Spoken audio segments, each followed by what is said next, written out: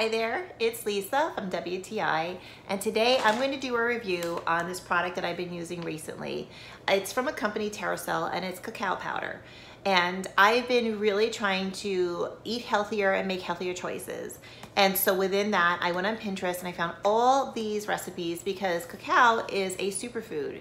And so this company, Terrasoul, came highly recommended and really highly rated on Amazon.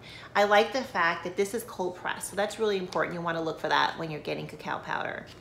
Um, so the way I've had it is um, I've been using it in smoothies. After a run, I'll do a little protein powder, some fresh strawberries, cashew milk, and then I'll put a big heaping tablespoon of this. And it is delicious.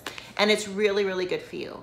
The other thing is I've been trying to wean myself off of coffee. I have a lot of it and I love it, but what I'll try to do is have this in a tea. I'll just boil some water and I'll put another heaping tablespoon of this and it is really, really good as well. So you can bake with it, which I've done those microwavable mug cakes. Um, again, I feel like I'm making a better choice for my family by using this in different ways and this company is fantastic. So this came in package of four of these and I'm sharing it with my mom and I could not be happier. So I really liked it. They have high reviews and um, that's my point of view.